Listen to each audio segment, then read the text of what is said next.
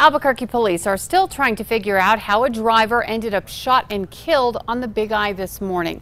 The murder caused huge traffic problems during the morning commute.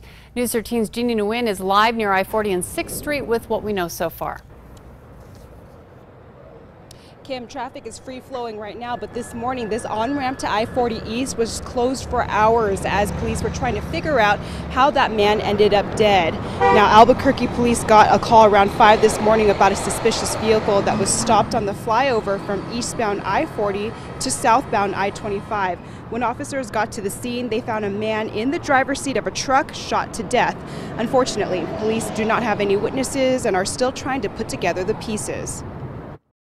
It may have happened right there on the freeway, but eh, you know there is a lot of evidence that we're having to go through and determine when exactly and where it happened. Traffic had to be diverted this morning at I-40 East and 4th Street. The north and south on-ramps to I-25 from eastbound I-40 were also closed for hours as officers continued to investigate. At the moment, police say they do not have enough they have enough evidence to show this was not a suicide and believe it's a murder. Right now, they are not releasing the identity of the identity of the victim. Police have not said if there are any outstanding sus suspects or if they found a gun in the victim's vehicle. Kim, back to you.